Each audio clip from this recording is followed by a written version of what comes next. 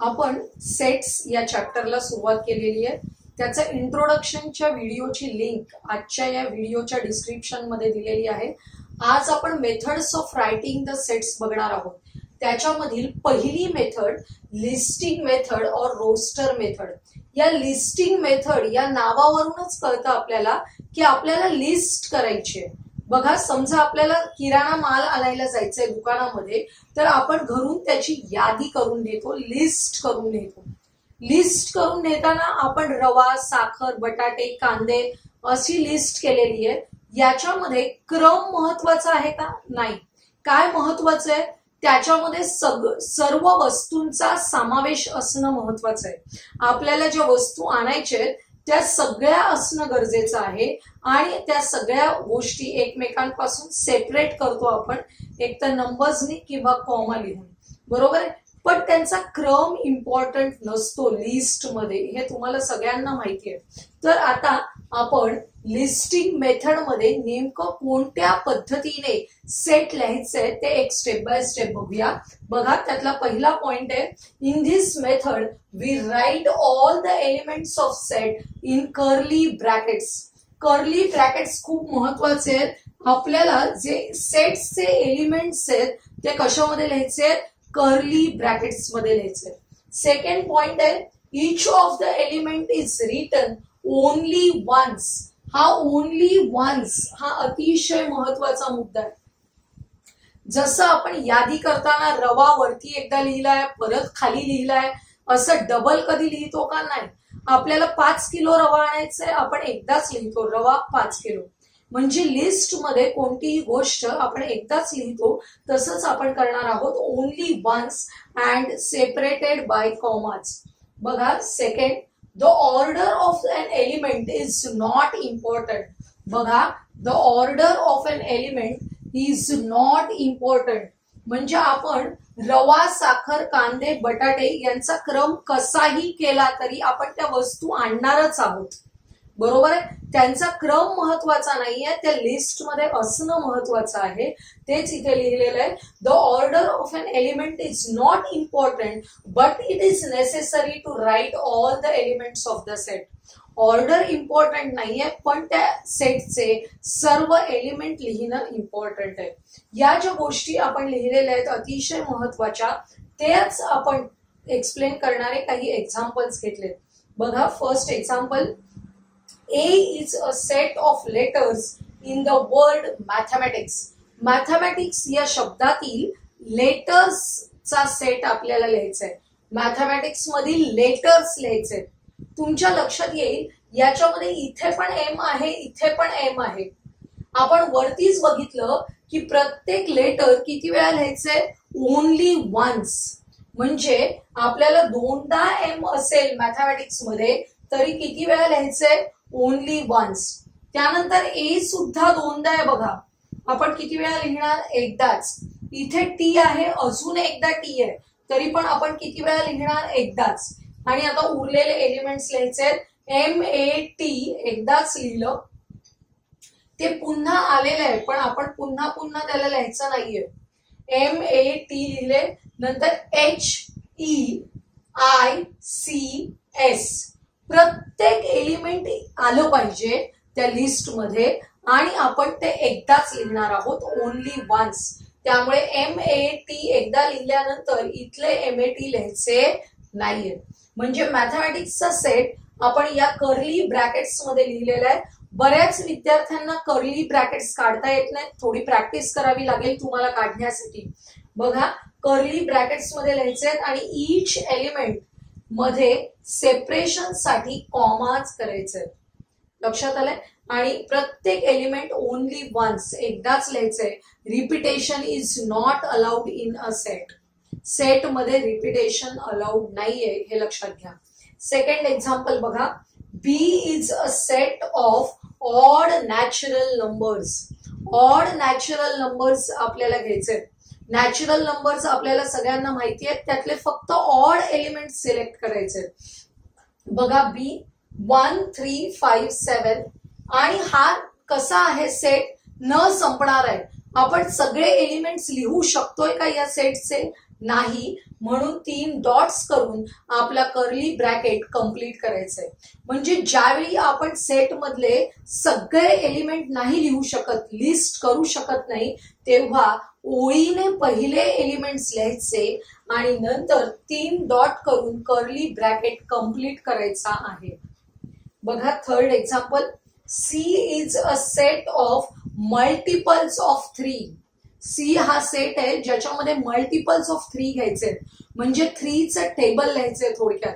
Three one जा three three two जा six three three जा नाईन बघा C is equal to three six nine twelve परत तीन डॉट्स करून कर्ली ब्रॅकेट करायचं. अशा प्रकारे आपल्याला सेट सी लिहिता येतो. D D is a set of prime numbers from one to twenty आता आपल्याला दिलेलं आहे रेंज कुठून कुठपर्यंत लिहायचंय? फ्रॉम वन टू ट्वेंटी म्हणजे फर्स्ट टू लास्ट आपल्याला रेंज दिली असेल.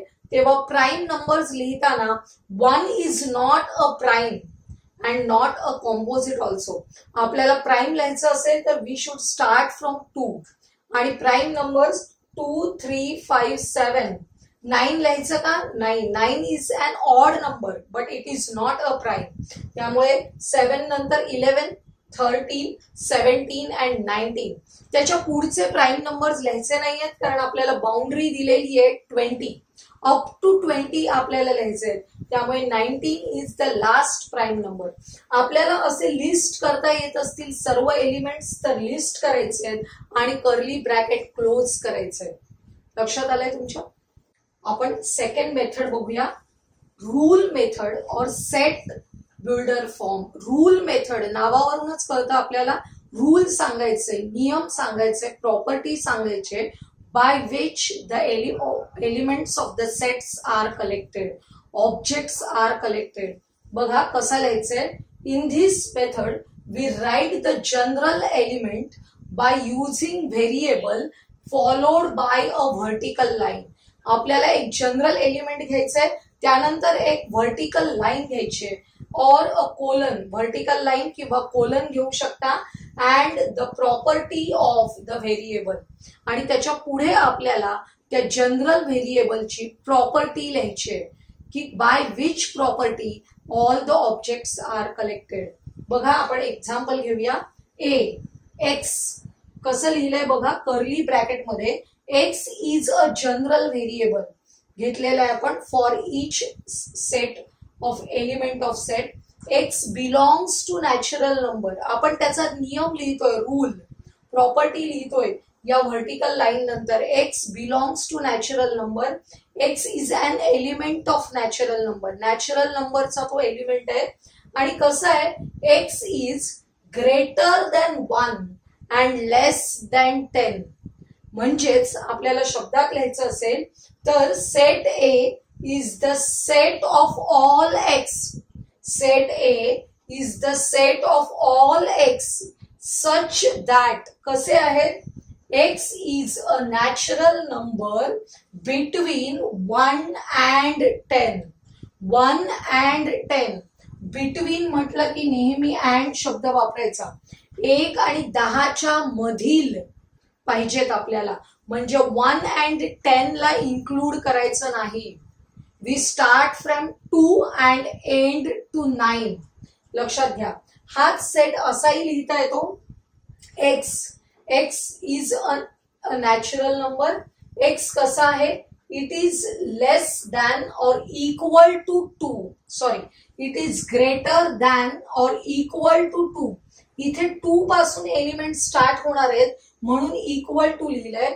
आणि less than or equal to nine nine ला स्टॉप होणार आहेत म्हणून नाईन लिहिलंय आणि इक्वल टू साईन केलंय. म्हणजे नाईन सुद्धा इन्क्लूड आहे आणि हा टू सुद्धा इन्क्लूड आहे. इथे इक्वल टू साईन नसल्यामुळे वन आणि टेन त्या सेटमध्ये नाही आहेत. हे लक्षात घ्या. आता सेकंड एक्झाम्पल बघा. B minus three minus two minus one zero one two कसले नंबर्स आहेत हे? दीज आर इंटीजर्स बरोबर? मग आपण यांच्यासाठी एक व्हेरिएबल एक्स घेऊया. कर्ली ब्रॅकेटमध्ये व्हेरिएबल एक्स घेतलं. त्यानंतर एक्स काय आहे? X is a नॅच integer X is a integer आणि कसं आहे इंटीजर बघा it is greater than minus four minus फोरपेक्षा मोठ आहे and less than three three पेक्षा लहान. बघा greater than minus four X is greater than minus four and less than three हीच कंडिशन आपल्याला अशी पण लिहिता येते. हा सेट असाही लिहिता येतो. B is equal to X X is an integer it is X is greater than or equal to minus three आपल्याला मायनस थ्रीला पण इन्क्लूड करायचंय. अशा वेळी आपण इक्वल टू साइन करून मायनस थ्री घेऊ शकता. Or less than or equal to two two पेक्षा लहान किंवा इक्वल इक्वल साईन दिल्यामुळे हा टू पण इथे इन्क्लूड होतो. म्हणजे हाच सेट आपल्याला या दोन पद्धतीने लिहिता येतो. हा दिलेला सेट कोणत्या मेथडमध्ये दिलेला आहे? लिस्टिंग मेथडमध्ये आपण कशामध्ये कन्व्हर्ट केले? दोन्ही तर रूल मेथडमध्ये म्हणजेच सेट बिल्डर फॉर्ममध्ये कन्वर्ट करून लिहिले. आता थर्ड एक्झाम्पल बघा. लिस्टिंग मेथडमध्ये तुम्हाला मायनस थ्री अँड थ्री दिले असतील. दोनच नंबर्स आहेत. मायनस थ्री अँड थ्री हे कसे नंबर्स आहेत? आपल्याला त्याची प्रॉपर्टी किंवा त्याचा रूल फाइंड आउट करायचंय. मायनस थ्री अँड थ्री हे दोन नंबर्स आहेत. ते नेमके कधी आपल्याला मिळतात? तो रूल फाइंड आउट करायचंय. बघा मायनस थ्रीचा स्क्वेअर किती येतो? नाईन आणि प्लस थ्रीचा स्क्वेअर पण किती येतो नाईन हीच प्रॉपर्टी आहे की आपल्याला ज्या प्रॉपर्टीच्या मदतीने हे दोन एलिमेंट्स इथे कलेक्ट केलेले आहेत. बघा Y is a member sorry Y is a number such that Y square is equal to nine या सेटचा वाय हा जनरल व्हेरिएबल घेतलेला आहे आपण which is a number such that Y square is equal to nine बघा minus three square करून बघितला nine येतो. प्लस थ्री स्क्वेअर करून बघितला नाईन येतो. बरोबर आपल्याला हाच सेट आणखी वेगळ्या पद्धतीने लिहिता येईल. वाय वाय कसा आहे? Y is equal to Y ची व्हॅल्यू कशी आहे?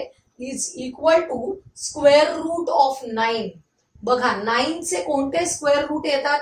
मायनस थ्री अँड थ्री त्यामुळे तेच दोन एलिमेंट्स इथे आहेत. म्हणजे प्रत्येक सेट हा आपल्याला एक दोन मेथड्सनी वेगवेगळ्या लिहिता येऊ शकतो. असं दोन वेगवेगळ्या मेथड्सनी मी लिहून दाखवलेला आहे. का दाखवलंय? कारण पेपरमध्ये जर तुम्हाला या मेथडने लिहिलेला आला असेल C is equal to Y such that Y is equal to square root of nine तर तुम्हाला याचा अर्थ समजून तो सेट लिस्टिंग मेथडमध्ये कन्व्हर्ट करता आला पाहिजे.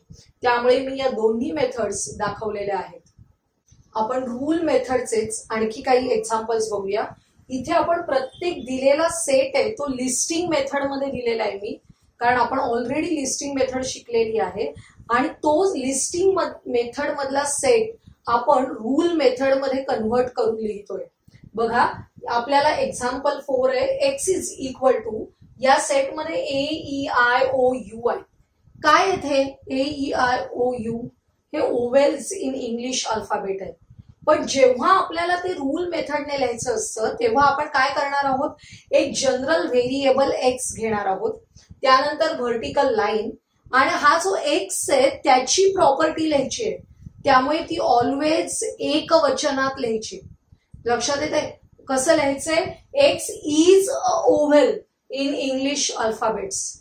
Are vowels लिहायचं नाही. एक एका जनरल व्हेरिएबलची एका एक्सची प्रॉपर्टी लिहायची.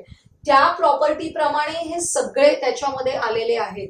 त्यामुळे ऑलवेज हे कशामध्ये घ्यायचंय आपल्याला? एकवचनामध्ये घ्यायचंय लक्षात घ्या.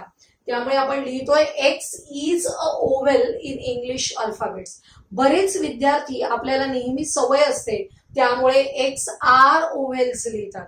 सगळीकडे आपल्याला एकवचन वापरायचंय रूल मेथडमध्ये हे लक्षात घ्या. आता पुढचं example P is equal to two फक्त एकच नंबर आहे टू या टू ची काय प्रॉपर्टी आहे बघा? की केवळ आपण ती प्रॉपर्टी लक्षात घेतली तर हा एकटाच एलिमेंट त्याच्यामध्ये येणार आहे. हे तुम्हाला विचार करायचंय. बघा हा इव्हन नंबर आहे तुम्हाला माहिती आहे पण इव्हन नंबर म्हटलं तर भरपूर इव्हन नंबर्स आहेत. मग या टू ला फक्त एकट्यालाच काय घ्यायचं? कारण तो इव्हन प्राईम नंबर आहे. लक्षात येत आहे बघा X X is an even prime number कोणत्या प्रॉपर्टीने तो या सेटमध्ये आलेला आहे? X is an even prime number त्याप्रमाणे योग्य प्रॉपर्टी आपल्याला लिहायची आहे.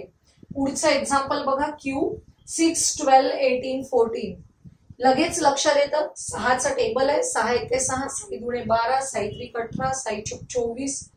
आणि आपल्याला पुढे तीन डॉट दिलेत. म्हणजे याच्यामध्ये भरपूर एलिमेंट्स आहेत विच वी कॅनॉट राईट म्हणून आपण तीन डॉट्स लिहिलेले आहेत.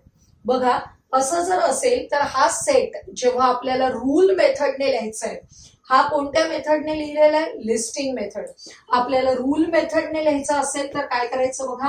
X is equal to X is equal to six N हा एन घेतलेला आहे. तो एन म्हणजे काय आहे? N belongs to natural number म्हणजे इट स्टार्ट फ्रॉम वन बघा, सहा एक्के सहा. एन जेव्हा दोन होईल, साही दुणे बारा.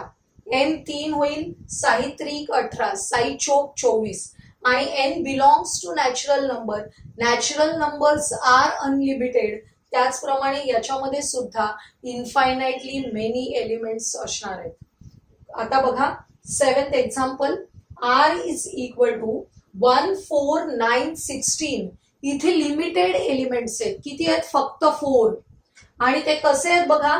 वन फोर नाईन सिक्स्टीन बघितल्या बघितल्याच कळतं. These are complete square numbers हा वन हा वन स्क्वेअर आहे.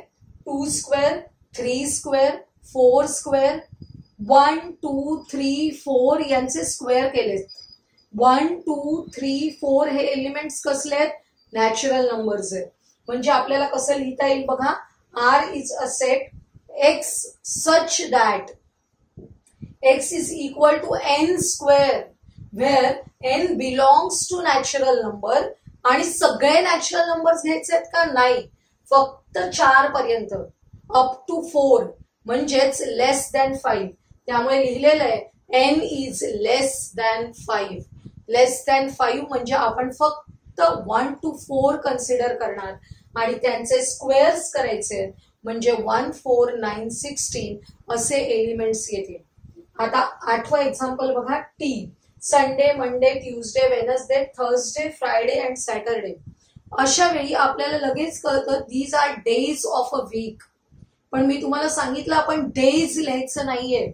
सगळं आपल्याला एकवचनात लिहायचंय. त्यामुळे X X is a day a day एक दिवस. X is a day in a week week मधला तो एक दिवस आहे. हा जो एक्स आहे जे जनरल व्हेरिएबल या सेटसाठी आपण घेतलेलं आहे ते म्हणजे काय आहे? X is a day of a week एक वचनात लिहायचंय हे लक्षात ठेवा. त्यामुळे हे दोन एक्झाम्पल्स मी घेतलेले हे खूप महत्त्वाचे आहेत. मुलं बऱ्याचदा इथे अनेक वचन वापरतात. आपल्याला काय वापरायचंय? एक वचन. हे लक्षात घ्यायचंय. त्यामुळे अ डे एक वचनामध्ये आपल्याला लिहायचं आहे. आज आपण काय बघितलं? Methods of writing the sets दोन मेथड बघितल्या. पहिली लिस्टिंग मेथड दुसरी रूल मेथड आणि आपण रूल मेथडचे एक्झाम्पल्स घेताना काय केलं? लिस्टिंग मेथडमध्ये घेतले आणि त्याचं कन्व्हर्जन रूल मेथडमध्ये केलं. त्यामुळे इनडायरेक्टली आपल्या दोन्ही मेथड्सची रिव्हिजन याच्यामध्ये झालेली आहे. आणि कंपॅरिझन पण झालेलं आहे की हा सेट लिस्टिंग मेथडमध्ये असा लिहिलेला असतो तोच रूल मेथडमध्ये असा लिहिला जातो. लक्षात आलंय? तर आजचा हा व्हिडिओ तुम्हाला आवडला असेल तर लाईक करा आपल्या मित्रमैत्रिणींना शेअर करा आणि आपले पुढील व्हिडिओज पाहण्यासाठी आपल्या चॅनलला सबस्क्राईब करायला विसरू नका.